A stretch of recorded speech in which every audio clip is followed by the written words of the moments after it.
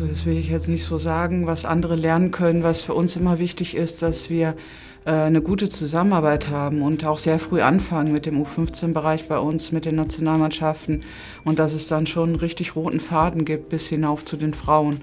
Dass die Arbeit sowohl von oben nach unten als natürlich auch von unten nach oben eine sehr enge ist, sodass die Spielerinnen, glaube ich, ähm, auch diesen Weg mit uns gehen, ohne sich allzu viel umstellen zu müssen. Ich finde das sehr wichtig, dass man halt ein gemeinsames Ziel hat, dass alle ihren Teil dazu beitragen, dass man natürlich auch eine gemeinsame Philosophie vom Fußball hat.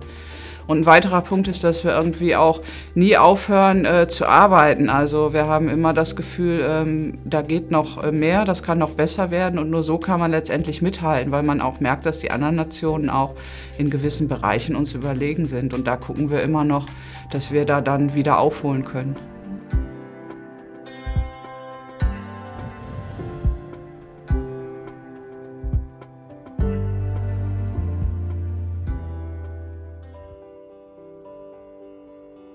Wir tauschen uns aus und die Chefin spricht dann darüber.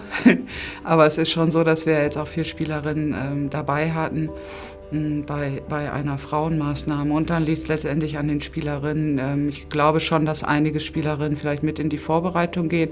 Und dann muss man halt gucken, ob sie sich durchsetzen. Wir haben ja einen sehr großen Umbruch gehabt bei uns in der Frauennationalmannschaft. Es gibt sehr viele junge Spielerinnen. Also die sind jetzt nicht gerade im Moment auf der Suche, aber ich glaube, es liegt an äh, einigen Spielerinnen selber, sich da durchzusetzen. Und einige kamen ja auch von den Frauen wieder zurück für die U20 WM. Das sind natürlich immer Kandidatinnen, die wir da brauchen.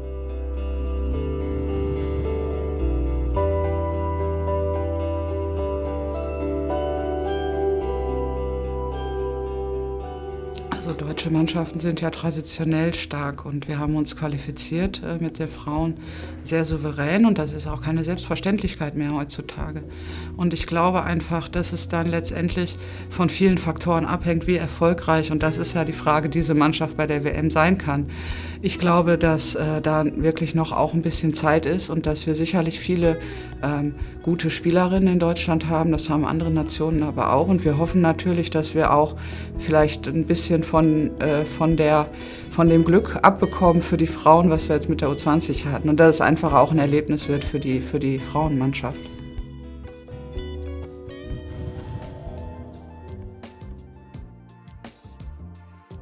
Ja, ich werde die ersten zwei Wochen äh, in Kanada äh, dabei sein, ähm, in einer Sichterfunktion oder wie die Frau Neid das äh, dann braucht in dem Moment. Und äh, dann ist die Vorrunde zu Ende, dann ähm, werde ich auch nach Hause reisen.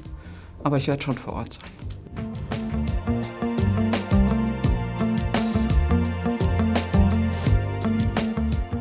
da gibt es ganz viele. Ich rede ja nicht so gerne darüber, weil die Frau Neid sich da viel besser auskennt. Aber ich glaube, die, die Mannschaften, die traditionell auch in den U-Bereichen stark sind, plus natürlich ein Gastgeber, der immer äh, gefährlich ist. Aber ich glaube, da gibt es acht Nationen, die da um den Titel mitspielen. Dann kommt es letztendlich eben darauf an, äh, welche Tagesform man hat und wie der Turnierverlauf ist.